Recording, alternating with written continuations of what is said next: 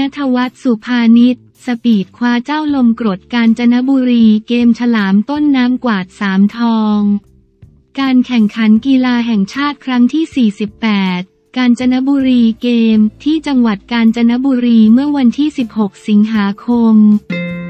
ไฮไลท์อยู่ที่การแข่งขันกรีฑาชิง 12 ทองวิ่ง 100 เมตร ชายนัทวัฒน์เอี่ยมอุดมเยาวชนทีมชาติไทย เร่งสปีดเอาชนะรุ่นพี่ทีมชาติอย่าง ทวัชชัยหิมเอียดจากชัยภูมิ และชยุทธคงประสิทธิ์จากกทม เข้าเส้นชัยเป็นคนแรกด้วยเวลา 10.48 วินาที คว้าเหรียญทองไปครองส่วนวิ่ง 100 เมตร หญิงสุภานิชภูลเกิดนักวิ่งทีมชาติไทยจากกทม เข้าเส้นชัยเป็นคนแรกด้วยเวลา 11.66 วินาที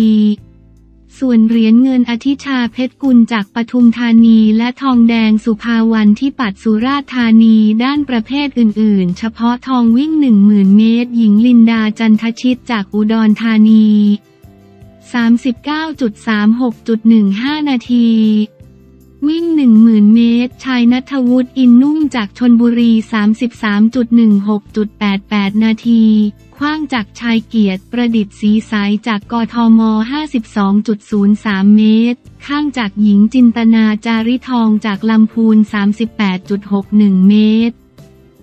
กระโดดค้ำชายกสินภพชมชนะจากนครปฐม 5.40 เมตร กระโดดไกลชายนรงฤทธิ์สุพศรจากศรีสะเกด7.25 เมตร วิ่ง 400 เมตร หญิงเบนนี่โนนทนำจากกาญจนบุรี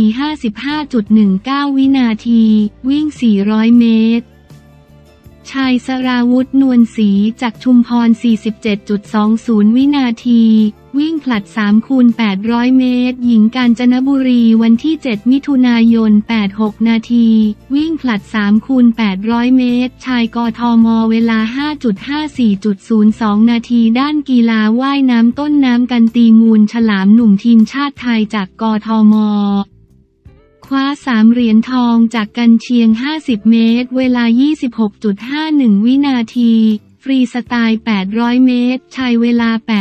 8.15.83 นาที และผลัดฟรีสไตล์ 4 คูณ 200 เมตร ชายส่วนรุ่นอื่น ๆ เฉพาะทองฟรีสไตล์ 100 เมตร ยิงฝนปลายแย้มสวนจากกทม 58.52 วินาที เดี่ยวผสม 200 เมตร ชายดุลยวัฒน์แก้วสียงจากนครศรีธรรมราชวันที่ 2 เมษายน 35 นาที กบ 200 เมตร หญิงชนิตรารอดสมจากปทุมธานี 2.36.07 นาที ขณะที่กีฬาจักรยานประเภทภูเขา Cross Country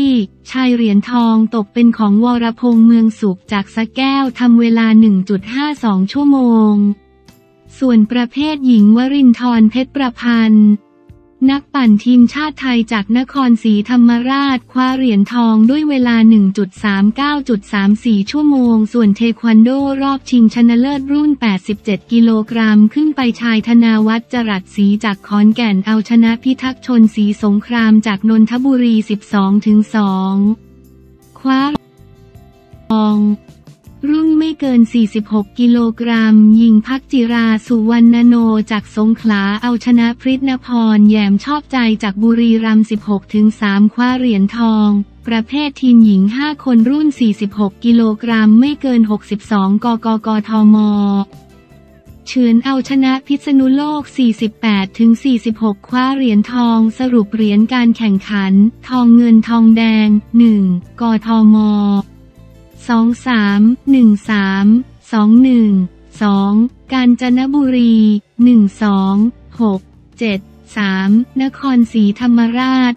8 5 5 4 สมุทรสาคร 6 1 7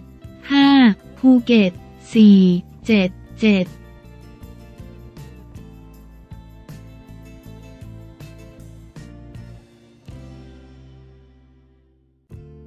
วงการกีฬา ในประเทศไทยแจ้งข่าวเสร้าว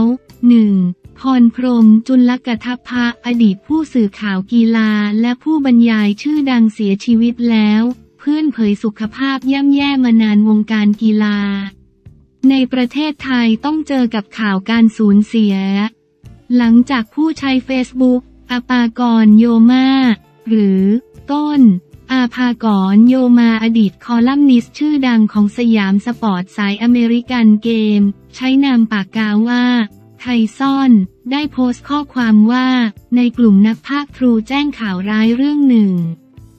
พรพรมจุลกทัพพะเสียชีวิตสะท้อนใจมาสุขภาพเขาดูแย่มาพักหนึ่งแล้ว ขณะที่แมน โกศินอัตโนรักษ์แฟนกีฬาไทย ชื่อดังได้โพสต์รูปภาพกับพร้อมข้อความถึง พรพรมจุลกทัพพะว่า เป็นการสูญเสียที่เกินจะตั้งตัวได้ทันจริง ๆ หลังจากเพิ่งได้ทราบข่าวร้ายจากญาติของที่หนึ่งพรพรมจุลกทัพสุดยอดผู้บรรยายกีฬาเบอร์ต้นๆของเมืองไทยซึ่งมีเมตตาและน้ำใจที่ดีกับผมมาตลอดว่าพี่หนึ่ง ได้จากไปแล้วแบบไม่มีวันกลับมาสาเหตุคาดว่าเกิดจากภาวะหัวใจล้มเหลวเฉียบพลัน ทางญาติจะอัปเดตพิธีทางศาสนาให้ทราบต่อไป ขอบคุณที่หนึ่งสำหรับทุกสิ่งทุกอย่าง ทั้งโอกาสคำปรึกษาและคำแนะนำดีๆ ที่มีให้ผมตลอดมาครับ ผมตั้งตัวไม่ทันจริงสำหรับพรพรมจุลกทัพพะหรือหนึ่ง เคยได้รับรางวัลผู้บรรยายกีฬาดีเด่นของโทรทัศน์ทองคำครั้งที่ 17 ปี 2546 จากการบรรยายการแข่งขันกีฬาเอเชียนเกม ครั้งที่ 14 ปูซานเกม ของโทรทัศน์ รวมการเฉพาะกิจแห่งประเทศไทย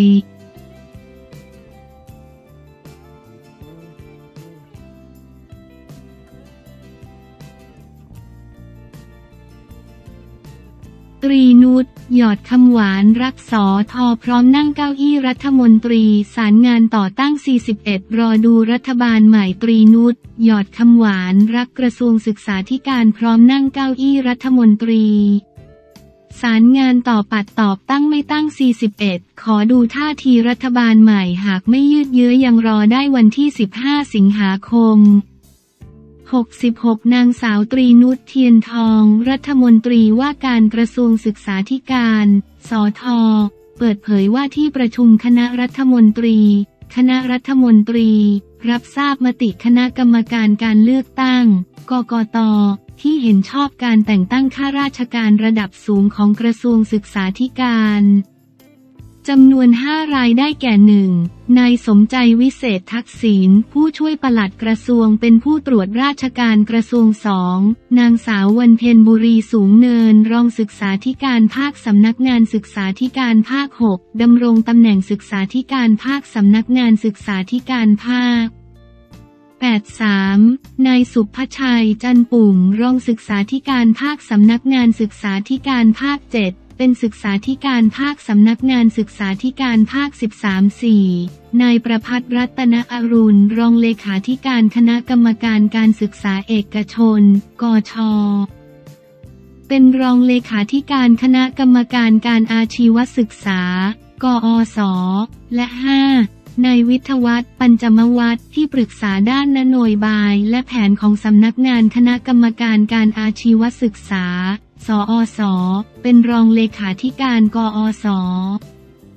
ขั้นตอนจากนี้จะเสนอเพื่อทรงพระกรุณาโปรดเกล้าโปรดกระหม่อม แต่งตั้งเป็นต้นไป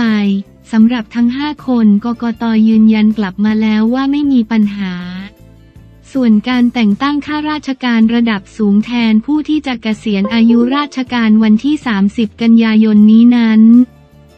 ตำแหน่งที่ไม่มีผลต่อการทำงาน และเป็นตำแหน่งที่รอได้ก็คงต้องรอ ส่วนตำแหน่งที่จะมีผลกระทบต่อการทำงานก็คงต้องดำเนินการ เช่น ในระดับปฏิบัติการแต่ขณะนี้ยังไม่มีอะไรและการสรรหาข้าราชการระดับสิบก็ยังไม่ได้ดำเนินการอะไรส่วนการแต่งตั้งข้าราชการระดับ 11 แทนนายอัมพรพินาศาเลขาธิการคณะกรรมการการศึกษาขั้นพื้นฐาน กพท ซึ่งจะเกษียณอายุราชการในวันที่ 30 กันยายน คงต้องรอดูท่าทีการจัดตั้งรัฐบาลให้มีความเรียบร้อย หากไม่ยืดเยื้อและยังอยู่ภายในเดือนสิงหาคม ก็คิดว่ายังสามารถรอได้ทุกคนอยากให้จัดตั้งรัฐบาลใหม่ให้แล้วเสร็จโดยเร็ว เพื่อให้ประเทศเดินหน้าต่อไปได้ นางสาวตรีนุชกล่าว